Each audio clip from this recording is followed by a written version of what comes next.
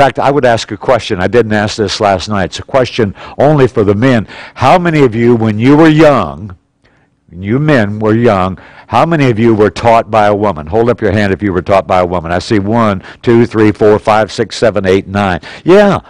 Women, women take the lead in teaching children, and that's the way it should be. 2 Timothy chapter 1, verse 5, you remember the story of Lois and Eunice. But women do so much more. Listen, when there's a shut-in, when meals need to be taken to someone who's been sick, who takes the lead in that? It's women who take the lead. And uh, maybe there's a woman who gets on the phone and she calls four or five of the ladies in the church and say, we've got to work a meal plan for the next week or so. So I just tried to emphasize that leadership is for saints. And I'm glad we've got women here in this series. We talked about how leadership requires sight. That is, you've got to see the need. You've got to see the need to step out. And we, we use the case of Nehemiah, who saw farther than others, all the, even though there was Persia, he saw the place of, of, of, Jerusalem in the plan of God. He saw more than others. He saw what could be done in rebuilding the walls of the city, and he saw before others did. Uh, you've got all that lesson in your workbook, but then we close that lesson by looking at leadership is servantship. That, we, that is, we need to be servants. And we'll do more today to define what leadership is. And then in our next part last night, we talked about what leaders need to know about cultural change. Our our culture is changing, and it is changing rapidly. This is not the same America that we had in 2008, and it's certainly not the same America we had in 1980. Things are changing, and I gave you 14 points last night in regard to cultural trends. Increased prosperity. We have more money than ever, and that changes people. Money changes people. It gives us options to do a lot of things, and as a result of our increased prosperity, attendance is falling off in churches across America. More focus on kids' activities, which takes us away from services again. More travel and vacation, which takes us away from services again. One of the things we pointed out last night was the fact that church attendance across the board is, is declining. America is changing. We're not the we're not the people we were in 1956 where everybody got up on Sunday morning and everybody went to church. It's just not that way any longer. And what I've tried to do in this lesson is to show you some of the reasons for that. We're people of divided allegiance. That is, we're not, uh, you know, we've got We've got some spiritual thoughts, but we're also chasing after materialism. And we talked about what Jesus said about that in Matthew chapter 13, verse 22. We see a changed family makeup. We pointed out that more than 50% of boys in America today are being raised in homes without their natural father. And do not think that has no impact on our culture. It's a radical impact in our culture. And uh, we live in what what one author called fatherless America. So many boys do not have a father figure in their home. And there are other things that impact that too. But here's a really big one. The online options are available on your smartphone, on your tablet, on your computer, uh, even on your smart TV now. You can you can pull up uh, any almost anything you want on a smart TV. The online options, more and more churches have uh, an online presence, and we'll talk more about that this morning. They stream their services. Are we being streamed today, Jim? Yeah, we're being streamed right now. This is something that churches are doing just kind of as a matter of fact thing today. And some people think, well, streaming is not a very good idea because it gives people the option to stay home and not show up. And that's, again, one of the reasons that church attendance is falling because of the online options and someone says, well, let's quit doing it then. Okay, you quit doing it, but 5,000 other churches are already doing it, and so the options are still there whether you do it or not. It's not going away. And then we live in a time where there's lack of Bible knowledge. Today's Christian does not know as much as a Christian of 30 or 40 years ago. And it's, a, it's rare to find an exception to that today. And that creates problems for us. And we'll see some problems today. There's also a lot of, uh, there's a decline, I think, in conviction. Americans don't have much conviction today about things. In fact, if you have very much conviction about the Bible, you believe the Bible is literally the Word of God and that we must live by these standards, you're liable to be roundly criticized in our culture today. And, uh, but there's not much in the way of conviction among Americans. This is culture-wide. Lack of Bible knowledge, culture-wide. Uh, it's just the way things are today. And then we've also experienced something in the past 15 to 20 years the cultural disappearance of guilt. Hardly anyone feels guilty about anything anymore. It's okay for you to believe whatever you want to do, whatever you want to believe, and do what you want to do, and you can certainly see that in regard to homosexuality. Why, why did the homosexuals used to stay in the closet? It's because they, they would be embarrassed if people found out how they were living their lives. But now they're proud to come out. And we have politicians at the very top who say, You've shown great courage by coming out of the closet and things like that. We don't have guilt about hardly anything any longer. And then there is self directed spirituality, and we do that because of Google. Uh, I, I, commented last night that if your if your little baby or your boy or your girl is sick, uh, you Google the symptoms and you say, Google comes up with these answers. Okay, here's probably the, de- the deal. And you look at it and you say, okay, uh, we need to go to the doctor. And you go to the doctor and say, Doc, I've already Googled the symptoms. Uh, I know what's wrong with little Johnny, and he probably needs this medication. Well, what's a doctor for if you can do, do it all yourself? But see, that's what we do with medicine. It's what we do with our investments.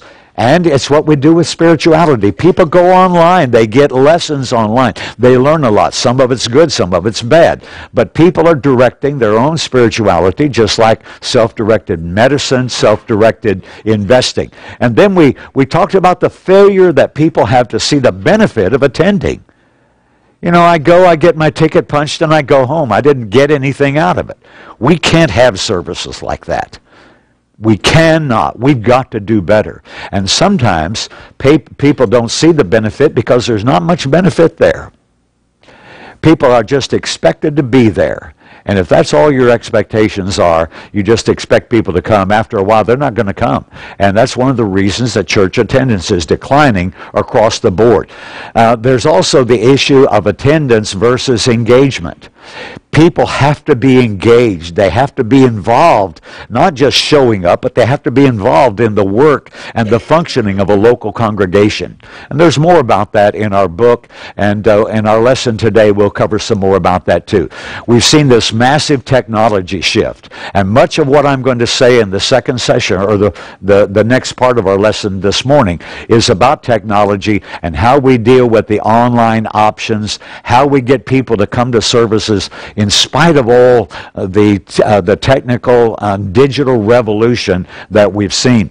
Then we spent a little time last night talking about high maintenance saints. We live in a time when people have got more personal problems than, than probably ever before. Uh, I have served as an elder for more than 30 years. I talk to elderships across the country, from Florida to California. I've worked with churches in, all over and in between in the past couple of years, and I hear elders telling me, Brother Dawson, I don't know what's happening in our congregation. We've got more marriage problems than ever.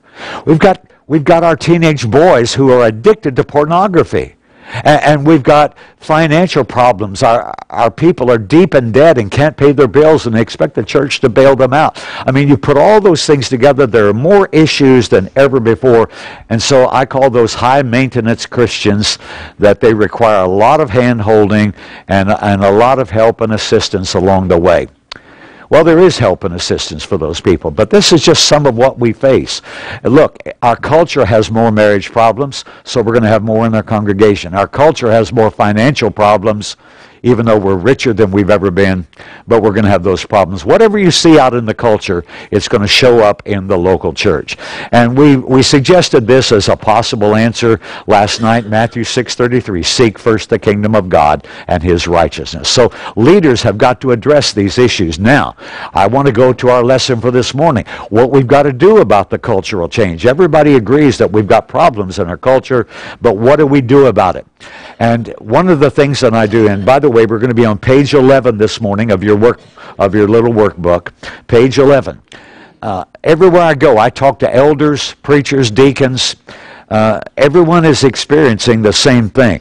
People who attend church are attending church less often. And the online church, the digital revolution is part of the reason for that. People who used to show up three times a week now show up once or twice. And people who used to show up three times a month show up once a month.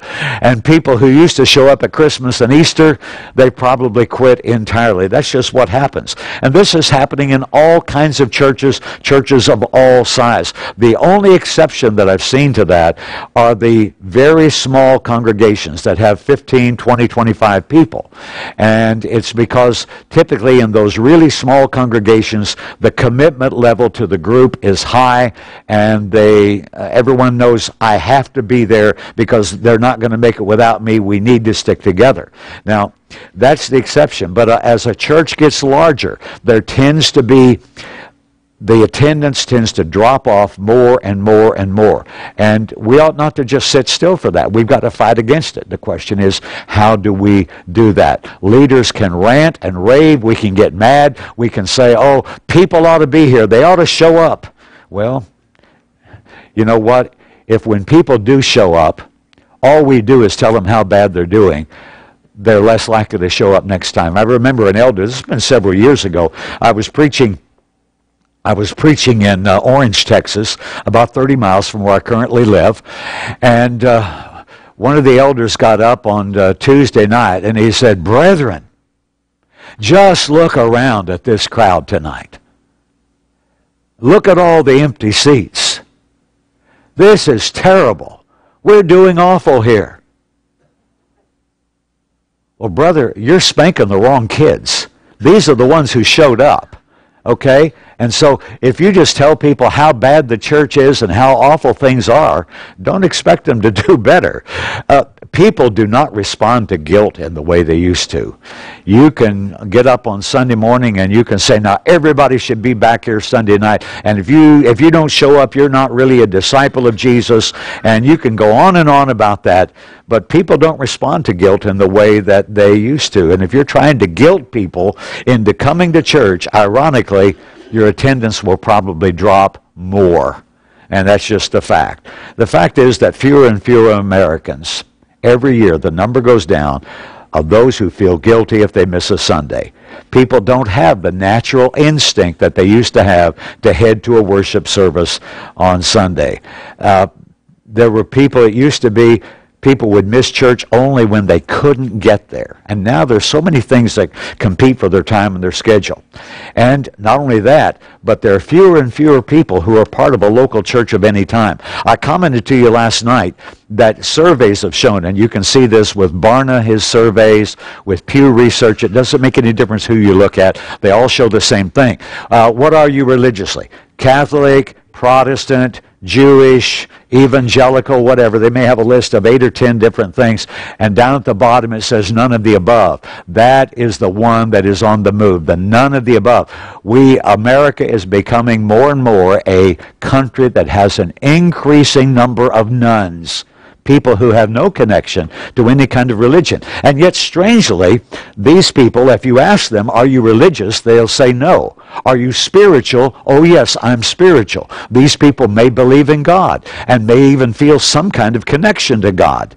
But as far as being part of a local church, uh, America, again, is changing, and we need to understand that. So, what I'm going to present this morning are seven things that we can do to respond to some of the cultural change. And as I go along, I may pause from time to time and ask you a couple of questions, and uh, let you do that. And we'll also do a short Q&A at the end this morning. But what you're going to see is that almost all of these seven things we're going to present will they are a good response to the digital revolution but they're also things that we need to be doing even if computers and smartphones and the internet didn't exist. Six out of these thing, seven things we need to be doing anyway. Okay? Here comes the first one. And this, of course, has to do with the digital revolution. We need to create a powerful online presence. You know how people learn about your church today? How do people learn about the Courtland Avenue Church? They might just happen to be driving down one of the side streets and see Courtland Avenue Church of Christ and say, hey, I think I'll go there. I'm looking for a church, why not? But that's a very small number that will do that. You know how they used to find out about the Courtland Avenue Church? 1976, one of the best years this church had. We had a little, what was called a, a business card in the yellow pages here in, in, in Kokomo. And we were in the upper right hand corner. When you turn to the churches in the yellow pages, upper right hand corner, Courtland Avenue Church of Christ. And that was one of the first churches you saw in the Yellow Pages. And we made contacts because of the Yellow Pages. In fact, that year, 1976, I was nicknamed Marion Max. I don't mean Marion like the city, I mean marrying Max. Because people who had no church, they wanted to get married. They turned to the yellow pages, look up a church, and there we were. And people would call me. I did. I did all kinds of weddings that year. Always required people to have a little bit of counseling before they got married. But yellow pages. That's how people found out about a church. Nobody today does that. In fact, do you even have a directory with yellow pages? A lot of cities don't even have that any longer. People learn about your church via your online presence, your web page. Now, there are some brethren, and I, I know this is going to happen. This is the first time I've presented this lesson, by the way, but I know it's going to happen. I hope it doesn't happen here. But it will happen somewhere this year where I, where I will present this. There are people that will say, What do we need a web page for? Why do we need online presence? We didn't do that in, in 1990 we didn't have it then. We didn't have this back in the 1950s. Well, it's not 1990 any longer. It's not 1950 any longer. We've been out of the 90s for 18 years. And the fact that we didn't have a web page in the past doesn't mean we don't need, need one now. We live in the now with the conditions that now brings. I'm reminded of what Paul said in, uh, I lost my Bible. Here it is. In uh, Acts chapter 20. In Acts chapter 20 and verse 20. And this is a verse that, that we use often. Paul said, I've kept back nothing that was helpful, uh, but I proclaimed the gospel to you, and I taught you publicly and from house to house. What does that mean, publicly and from house to house? Well, Paul took advantage of whatever forums were available. He taught people from house to house. He went here, had to study there, here, and had to study there. But he also had public forums. We need to use whatever forums we have in order to reach people, and that's the purpose. That's the purpose for having a powerful online presence. Let me tell you that you have to have a website just to keep from losing ground. A website's not going to gain you very much by itself, but at least it'll help bring you up to maybe a minimum standard. I did a, a, a leadership meeting three weeks weeks ago in Palestine, Texas. And I told those brethren, You've got to have a website. Do you have one? No, we don't have a website. You have to have a website. It's how people will learn about you. And that's just the way things are today. Everyone else has one, and if you don't, you start off behind. But it's more than a website. It is a, a, web page is really critical. And on that web page, there's some minimum stuff that ought to be there. Obviously, the times of your services should be there, directions how to find the church building, and a little bit, not a long thesis, but a little bit about what the church is about. Here's, here's some of the things we believe. Here's some of the things we practice. And something that can be read in a minute to minute and a half that just tells a little bit about who and what you are. You have to do something like that. And but beyond the web page, there, there's more. You can stay connected with people and make connections with people through Facebook. You have a Facebook page? Almost every church now has a Facebook page, but that's not the same as having a web page. You need both. We did a singing last Friday night, and uh, a week ago last night. It's our annual singing. We do it the first Friday of May every year. And we, we stream our services, and we streamed that singing. And we streamed it via a thing called livestream.com. We streamed it via Facebook. Facebook, last Friday night, we had 950 people who watched our singing online. 950. Just think of that number. Uh, that's what that's what an online presence can do for you. So you got to have a Facebook page. You need someone to monitor a Twitter account for the church. Uh, someone uh, that monitors an email account for the church. I use something, and some of you I think subscribe to this. It's uh, it's called uh, Constant Contact. Constant Contact is an email service. I put out two emails a week. Uh, it's proprietary. It uses their software. I will go online tonight or tomorrow night and I will write Max's Monday musings. And then come Thursday, it's Max's Thursday thoughts. Now, there's a couple of reasons for doing that. One, is that it keeps me in contact with our own members of, uh, at Dowlen Road Church. Two, it it extends the reach of our congregation. When visitors come and we give them an option to sign up for that email, doesn't cost anything. And as far as the church goes, it does cost us, cost us 20, $21 a month, I think. And it maintains our mailing list and it will even show me who's opening the emails and who's not, okay? Who's, who's just throwing them away. So I get a lot of information. But that's one of the ways you stay in touch with people. Podcast. You know, podcast, listening to something on audio how many years ago was it that we got the little cassette tapes and we had these little Sony things that we'd tie on our belt and we'd go for a walk and we'd put the headsets on? That's old technology, but it is making a comeback now with the podcast. You can download someone's lesson and uh, you can listen to it while you're driving your car. Uh, you don't get the cassette tape any longer because now it's all just digital and you have it on your smartphone or whatever uh, kind of equipment you're using. But the podcast is something that is making a real impact today, and churches need to have something like that. You can take lessons like we're doing this morning, and you can make a podcast out of those. You can also do a church blog where you just kind of someone just writes little stories about the congregation. You have that as part of your website. And then there's a new thing now called the church app. And I don't know if you guys have uh, this or if you've seen it or not. We don't have it yet, but it's something that we would like to have. The church app is one that's Courtland Avenue Church of Christ. And on your smartphone, Courtland Avenue Church of Christ, you hit it. And it, it gives you uh, information not just about times of services because you already know that. But here are events that are coming up. That's on your church app. Your church app can send out a message to everyone. Uh, just google church church app and there, there are companies all over the, the country that will provide those for you. And then there's a powerful online church program called congregate. Do y'all use congregate here? Are you familiar with congregate? Anybody uh, Congregate is a great program. Uh, it does a lot for you. It tracks your membership. You can print out a simple church directory in, a, in just a few seconds from Congregate. Uh, it, it just affords you all kinds of ways to contact and track your members and guests. Now, someone says, Well, Max, all this online stuff sounds like a lot of work. Yeah, it is. And nobody said that leadership was going to be easy. It requires work. And so let's be thinking about let's be thinking about what we can do to create a powerful online presence. Uh, you know, we might complain about the streaming services that are out there, and you can watch church online now, and you can learn lessons online. We can complain about that, but instead of complaining, we need to take these things and leverage them to our advantage.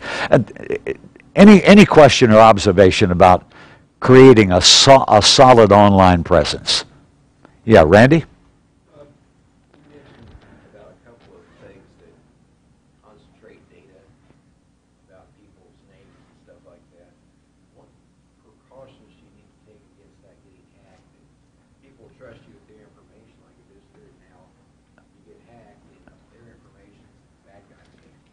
Well, first of all, like your website, uh, we have our website, our members section is protected. You have to, have, that's password protected. So the only phone numbers you can get from our website is the church phone number and the church address. When someone just stumbles across or is looking for a, a congregation, the only information they're going to get is our contact information. But the the church membership directory that is online is is protected. You have to have a username and a password, and uh, we allow only our own people uh, to have access to that. Former members who've moved away, they're blocked. They can't get on our they can get on our website, but they can't get in the member section. So you're protecting people's privacy in, in that way. But you still hear about giant corporations getting hacked and all their data, Equifax. Okay, yeah, Randy's question is about giant corporations that get hacked. Well, the giant corporations have lots of money and various other things. People want to hack them. There are not many people that want to hack Dowlen Road Church. Uh, and so uh, I suppose with uh, the right kind of software, someone could get into our members section, but there, we've never had any issue like that. And, and the, here's another fact. Privacy no longer exists in our culture. We need to realize that and live with that fact. But we need, still need to protect our people with, uh, with a uh, password protected uh, member section on our website. And we have Congregate, that's all protected. Everything we do, uh, my email, constant contact, that's all protected. People can't just get into that and get those email addresses. But, but in the bigger sense, in our culture, people, uh, our privacy is gone to some degree. If you have a phone that has Google on it, and unless you turn the location services off, Google knows everywhere you go. Google knows where I am right now. In fact, when I walked in the church building a while ago and turned my phone off, uh, it said, uh, Do you want to send some pictures of Courtland Avenue Church of Christ? Courtland Avenue Church of Christ is trending right now. And you know why Courtland Avenue Church of Christ is trending? Do you know why? Because a bunch of you came here last night and they saw you on your way here this morning. They were tracking you as you were driving down the street. And all that's happening with Google. And so, you know, privacy is, uh, we don't have the privacy we once had. Bruce, did you have a question, sir? More of a comment. Um, if, if we go someplace, Kathy and I to go visit a congregation or stay in a hotel, we always go online to get information about it before we get there. We've had several, we've got new members at Woodland Hills and have had visitors that came because of checking us out first to find out before they walked in the door not knowing what was there. So it's, it, it's been a- a way to introduce ourselves. to- Practical experience shows the value of the powerful online presence. Lee and I, we've we've traveled from one end of the country to the other in the last year, and uh, we always we always find a church in advance. And you can go to findthechurch.com. You can start there, or you can just Google the name of a city and Church of Christ, and you'll find something. So the online presence is a given. You have to have that. As, let me go to my second point today uh, about how we respond to cultural change. You know, the internet is very impersonal. I commented last night that someone may have 500 Facebook friends and zero intimate friends. We need to elevate personal relationships. In the early church, personal relationships were critical to their well-being. Remember in Acts chapter 2, toward the end of the chapter, right after the church had been established in Acts chapter 2, beginning at verse 44, it says, Now all who believed were together and had all things common. They sold their possessions and goods and divided them among all as anyone had need. Now watch verse 46. So continuing daily with one accord in the temple, breaking bread from house to house, they ate their food with gladness and simplicity of heart. Can you see here that these people, these early Christians, spent a lot of time with one another outside of their worship assembly? They were eating their meals together. This was an expression of the relationships that they had. From day one, the, the, the, brethren seemed to establish loving relationships that was critical to them. Uh, in Acts chapter 4, I, I sometimes hear people say, oh, I'd never want to be in that in a, in a church like Jerusalem church, you know, big. There were 3,000 people. And Acts chapter 4 and verse 4, the number had grown to more than 5,000 men, not counting the women. That's cold and impersonal. Who'd want to be a part of a group like that? You know, you need to be mighty careful before you brand a large congregation as cold and impersonal. You better be mighty careful because you've just condemned the Jerusalem church. And if you look in your Bible in Acts 4:32, Acts 4 verse 32, it says the multitude of those who believed, that's the Jerusalem church. The multitude of those who who believed were of one heart and one soul. Neither did anyone say the things that he possessed was his own. These people were bound together. And one of the reasons they were bound together is that they had these powerful personal relationships. This is more, folks. This is more than just showing up and getting your ticket punched. Producing powerful relationships is something that requires an in-person kind of situation. It's one of the ways that you overcome and address the cultural change that's taking place. You see, we've been talking about how fewer people are committed to coming to services. But the more you elevate personal relationships among Christians, the more likely they are to be present. You want to be with the people you love most. Uh, this is not rocket science. And so you need to elevate the idea of the personal relationships. Churches that have a high value on personal relationships, they tend to attract people who value personal connections. Now let me ask you a question. Who in our culture today values personal connections? Well, maybe we should ask it this way. Who doesn't? Almost everybody needs, wants and needs and longs for real personal connections. And part of our problem today, you know, we have all this connection to technology. We talked last night about separation anxiety. I feel funny here because I don't have my phone on my hip right now. You know, it's it's it belongs there. That's part of me. When I go out when I go out uh, out of my house in the morning, get in my car, I feel my billfold back here, and then I feel my phone. I, have got to make sure all these things are in place before I leave the house. And if I forget my phone and get to the office, I have to leave the office, go back home, get my phone. I live by that phone. You live by your phone. We're connected to technology. It's not just the smartphone, but it's our computer and it's other technological things we have. But in spite of that, we still long for personal connection. In fact, the more we're wedded to technology, the more we're connected to technology, the more we're disconnected from people. And people still long for that personal connection. So we've got to work on that. And so we have to facilitate personal connections. And, uh, and not just not just brethren eating together from time to time. You know, it's uh, been a practice for years here at Courtland Avenue Church to go down here to the park, to the little uh, pavilion or whatever it's called down there, and have a, a potluck dinner on, on a Sunday, and that's great. But there needs to be more than just an, an occasional meal like that.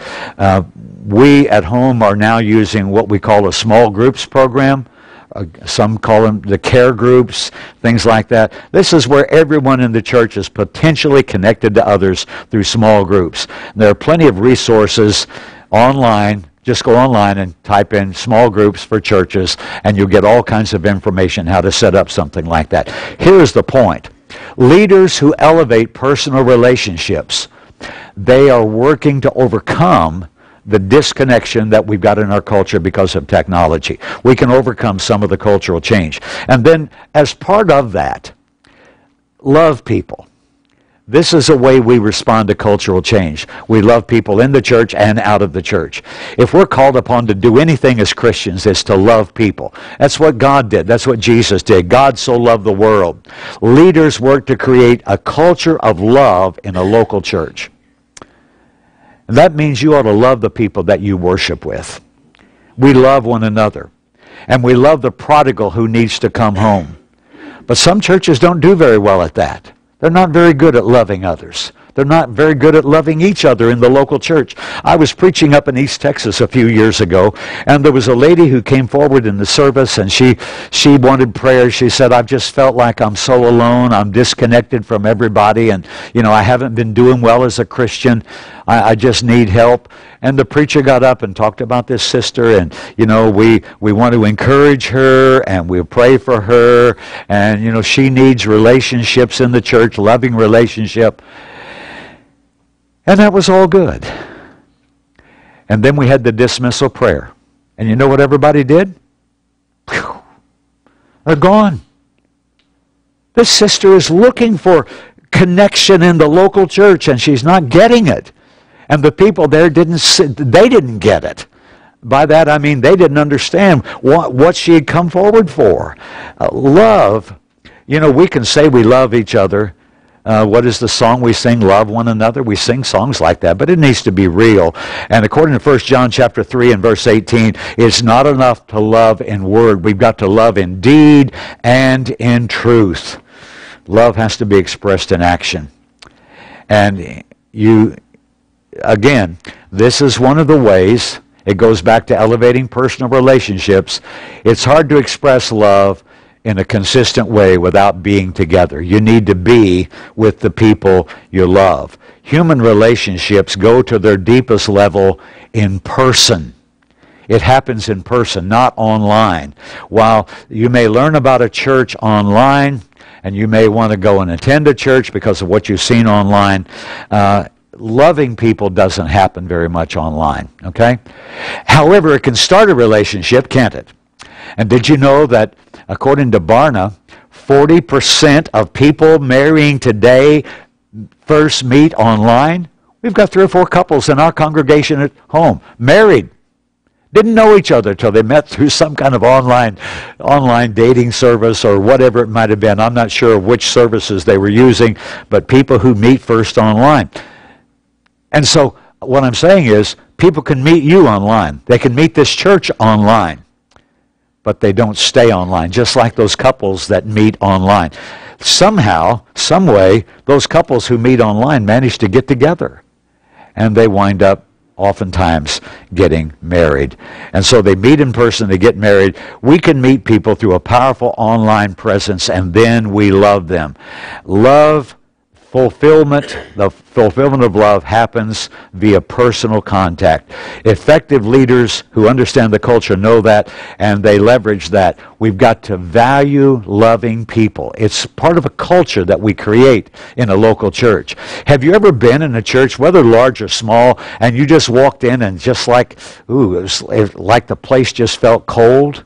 I don't mean the temperature. I mean, you know, you just felt like there's, there's no love here. There's something missing here. Uh, you see that from time to time.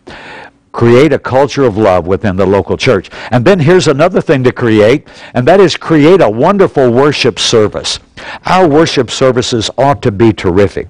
You know, someone says, Well, I can watch a worship service online. I can hear a sermon, I can hear prayers, I hear the singing. Yeah, you can hear all that, but there's something that happens when you're in and in the moment that can never happen online. People need to get something in the assembly by being here with you that they can't get online. Let me ask you, uh, how many of you ever watch a Colts game online? Just three people? Uh, a Colts game on TV, that's what I mean. Okay. You can watch it online too, through NFL.com, maybe. How many of you would rather be in the moment, in the room, and be there where the game's going on? When we were here a few years ago, Jeff somehow finagled somebody, got tickets out of someone somewhere, and we went to see the Colts and the Broncos at Sunday night football. We were having a meeting. We preached preached here at two o'clock, and we got down there to Indianapolis. And wow, what a terrific game it was! And uh, got to see Peyton Manning playing for the wrong team. Okay, the Denver Broncos. Uh, but it was fun to be there. You want to be there in the room. Can you go online uh, to YouTube and watch uh, Carrie Underwood? Uh, what about Keith Urban? Or, or name your own singer. I don't care who it is. Would you rather watch them in a YouTube video, or would you rather be in the concert hall? See, there's something that happens in the concert hall that doesn't happen on a little tiny cell phone or even your computer screen or even your television screen. Church is more than the sum of its parts. When you come together on the Lord's Day, you've got the preaching, you've got the Lord's Supper, you've got the giving, uh, you've got the prayers, all the things that happen, the singing. You've got the human interaction. Even the conversations before and after service, they all combine to produce something that cannot be found online. There's something that happens when you're in the room and in the moment that will not happen when you're online. So this is one of the ways that we combat the online thing where people are gravitating toward that.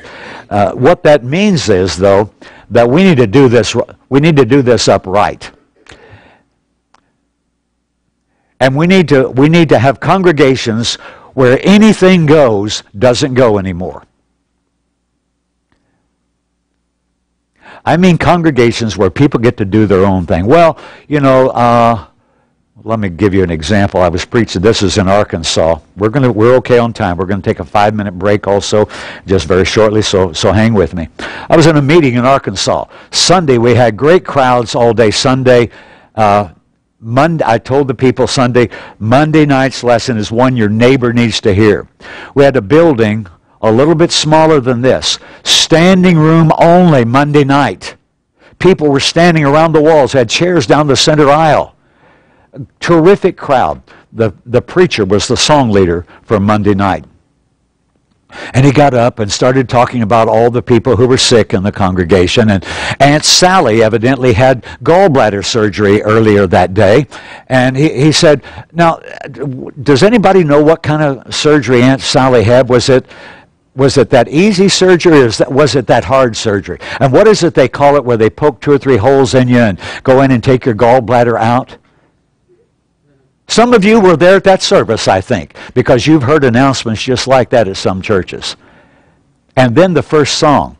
How many of you know this song, this, the preacher says? There were three hands that went up, and he says, Well, uh, look, it's an easy song, you'll learn, it, you'll learn it quickly.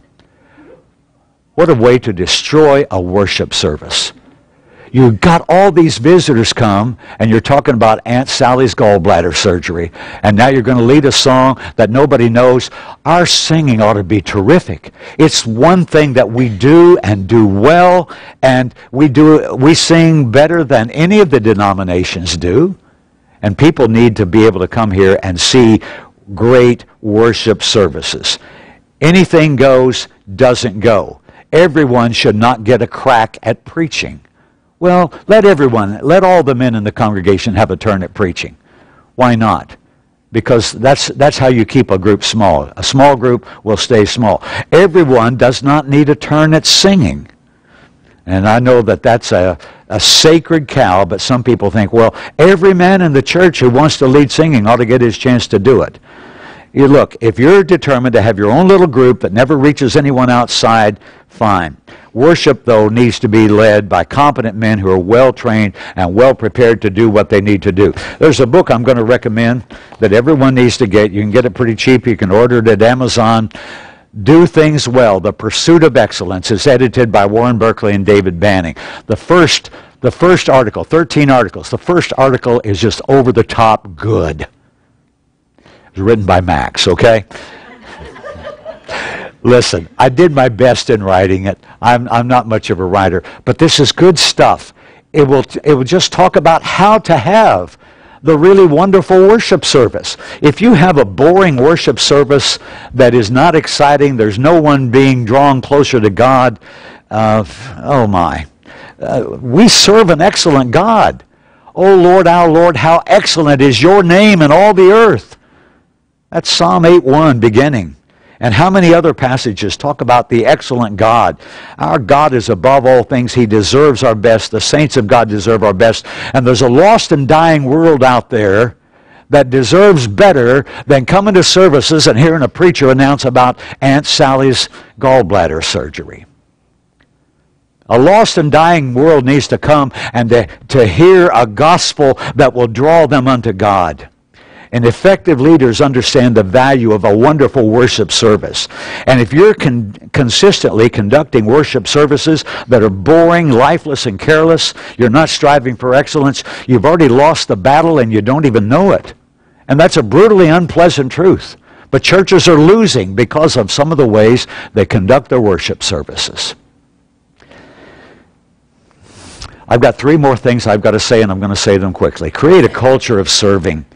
Online church doesn't provide much in the way of serving opportunities.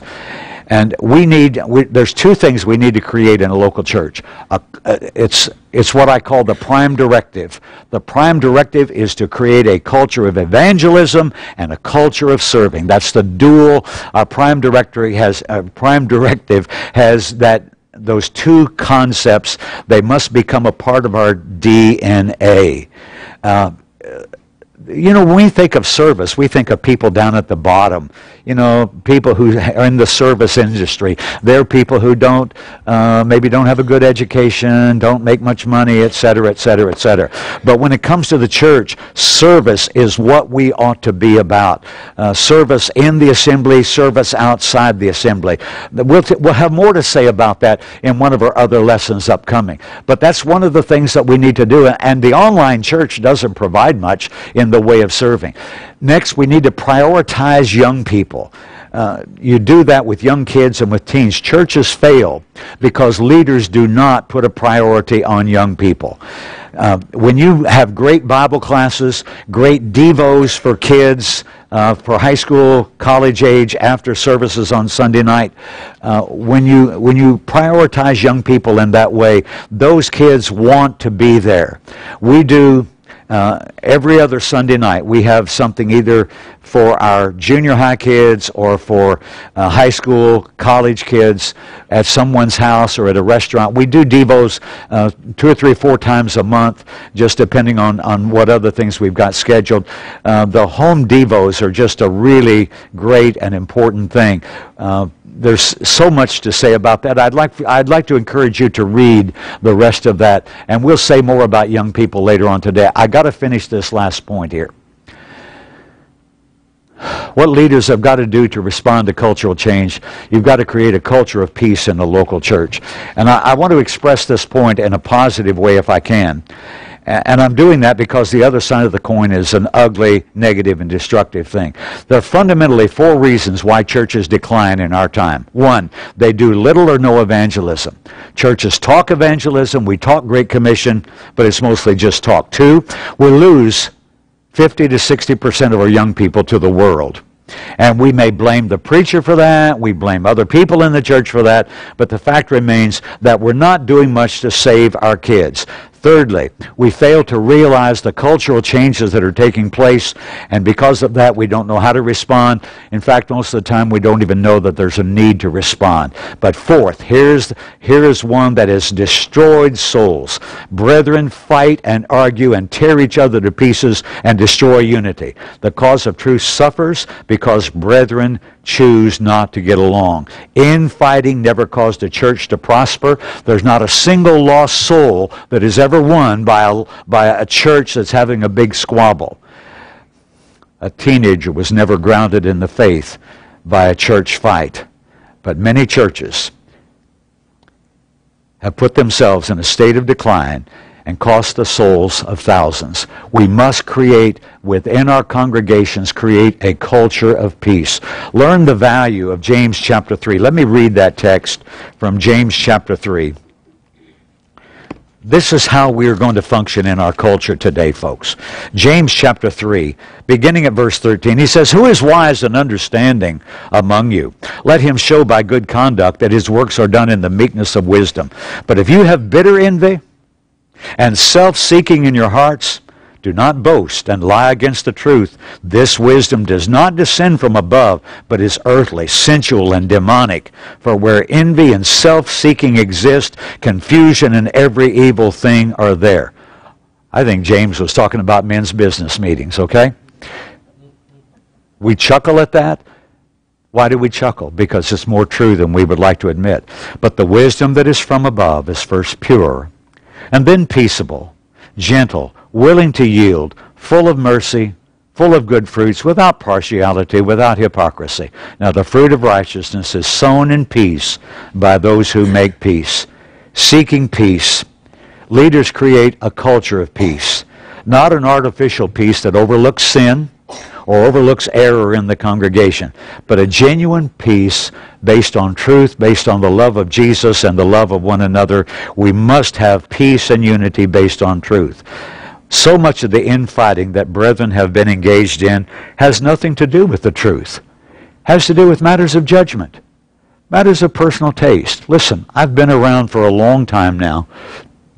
I started off preaching as a young man. I was 20, I guess 26 years old when I started preaching, and now, 48 years later, I've seen the harm that is done by the fighting that brethren have done. And disagreements in business meetings. I've even seen fighting among elders in a church, fighting between deacons and elders in a church. It, it needs to stop. The division that is caused by that. We're going to give account for that on the day of judgment. And I think brethren are blind to the idea that someday each of us are going to individually stand before God and God's going to say, Why did you do that? Why did you cause so much trouble in your congregation? Yeah, I, I know they didn't. They didn't uh, like the color you suggested for the walls. Going to paint the walls. You you wanted brown. Somebody else wanted green. But you were willing to argue and fuss and fight over it for, for three months in men's business meetings. Why did you do that? We're going to give account for all this stuff that we do. We need to, we need to stop the backbiting, stop the gossip, stop the questioning of motives, stop, stop the judgmental spirit. James chapter 4, verses 11 and 12 is a, is a frightening text. It says, Do not speak evil of one another, brethren. He who speaks evil of a brother judges his brother. He speaks evil of the law and judges the law. If, you're, if you judge the law, you're not a doer of the law, but a judge. There's one lawgiver who is able to save and to destroy. Who are you to judge another? And we've seen men's business meetings over the years where there would be a party spirit where before the men's business meeting, someone already lined up two or three guys for his side and they were going to contend against the other side. That, that kind of stuff needs to come to a halt. Leaders promote a culture of peace. Leaders know when to compromise and when not to. And we can compromise on the color of walls. We can compromise on, on the carpet in the building. We can compromise on a lot of things. We never compromise on truth. But sometimes, brethren, in men's business meetings, they act like, oh, the color of the walls, it's a matter of faith, and it has to be this way, or my family's going to leave if it's not done the way we think it should be done. And maybe they wouldn't do that on the color of the walls, but that's the kind of thing that happens. Listen, we've got to have peace. If we don't have peace, all the other stuff we're doing, it all gets thrown away. Let's take a couple minutes for Q&A.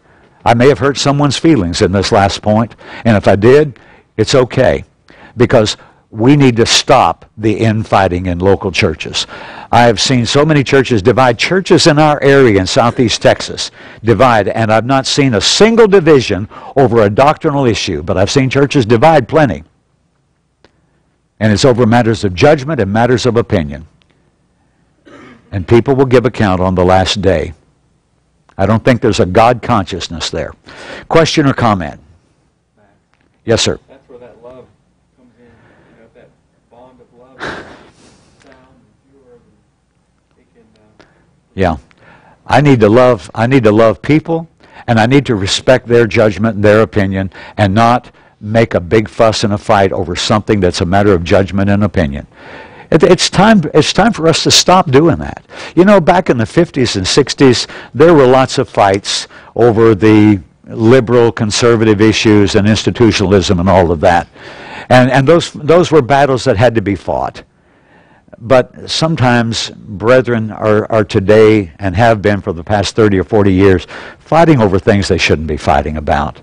Learn to be peaceable. Learn to love others. Be of, a, of a, as much as possible, as much as lies within you, be at peace with all men. Love one another. That's part of the answer. Another question. Rick.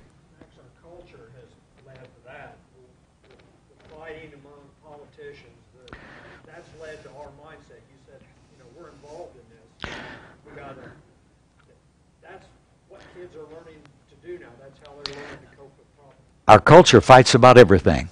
And uh, there, I want to say more about that in a later lesson this morning.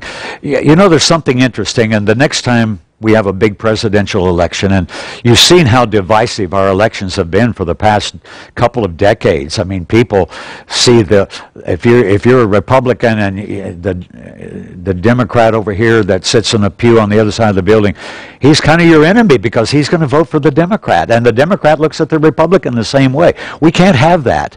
Did you know that two of the apostles of Jesus were on opposite sides?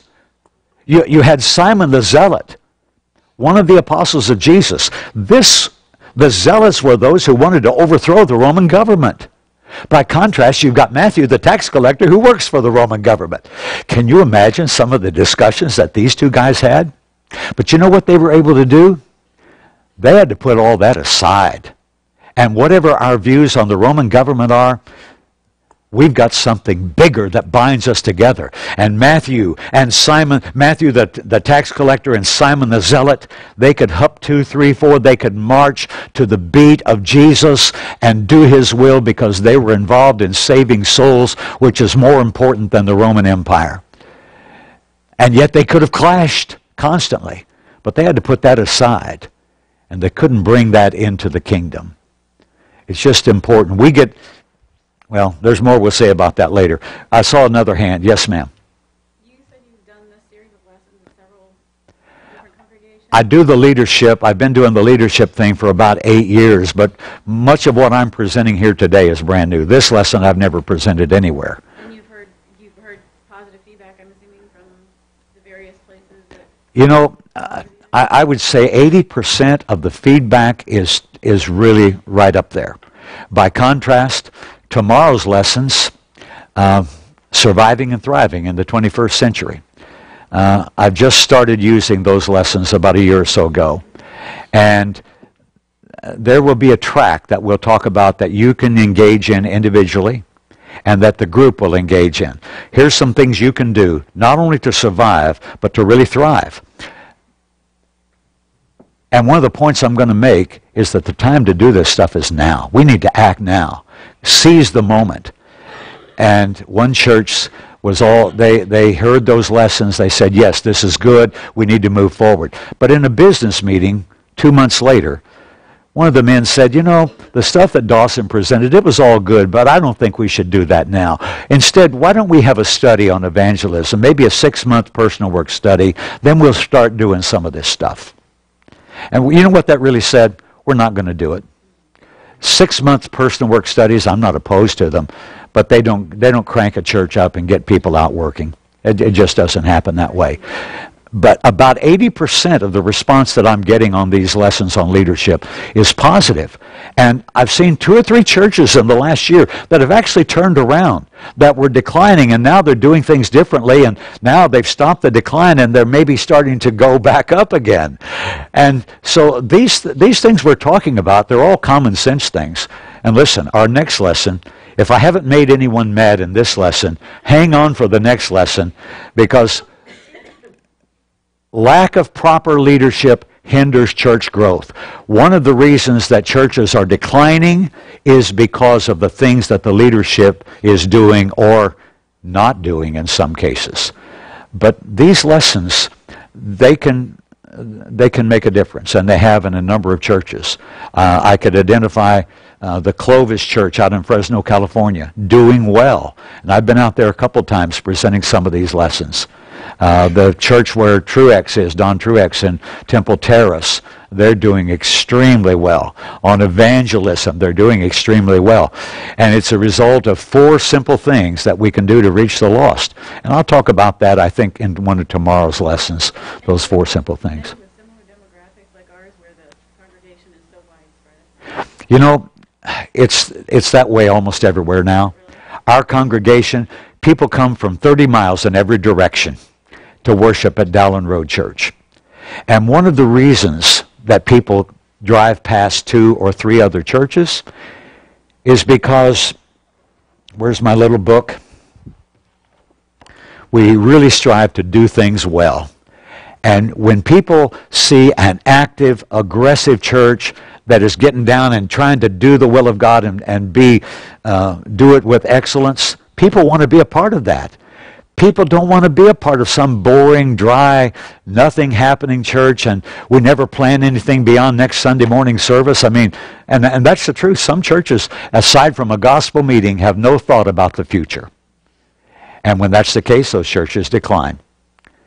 There's much more we'll say about that in the course of events. I'll take one more question. Randy, uh, let me go to Yvonne instead. I um, I need you to speak a little louder, Yvonne. I think the Bible teaches that one way women can be leaders in the churches is to learn a, an attitude of submission. And I think that same attitude is, would benefit our leaders, our male leaders in the churches. A problem seeing that submission is a strength and not a weakness. Uh, There, there's a passage that talks about submitting to one another. You got passages like that. Learning uh, in a, in a men's business meeting, what better place for men to show submission to one another instead of insisting on my way? Let's find a way that, that will please everybody. You know, there's often put up what is called the um, I, I, I can't think of the name of it, the technical name for it. Well, it's either this or this. We, we only have two options here. Sometimes there's a third option that will that will satisfy everybody and everything. And uh, and yet in a business meeting we'll set two options out. We either got to do it this way or that way. And neither way is really acceptable to everybody. Sometimes there's a third option and we, we look for that third option. Maybe we'll say more about that later. Let's break for five minutes, guys. Break for five minutes. Thank you.